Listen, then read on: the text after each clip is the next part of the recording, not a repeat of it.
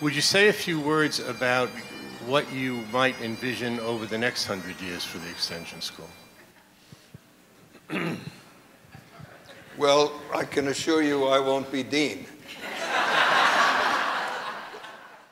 In 1975, I had the privilege of succeeding Dr. Phelps and managed to build on the foundation that my predecessors in university extension had laid.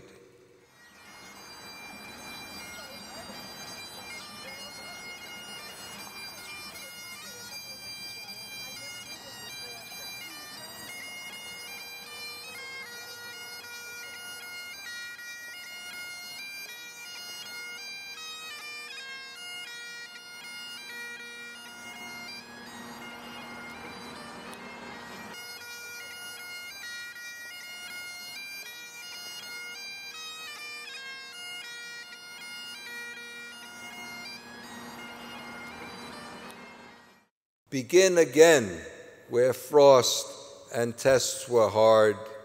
Find yourself or a founder. Here, imagine a spirit moves. John Harvard walks the yard.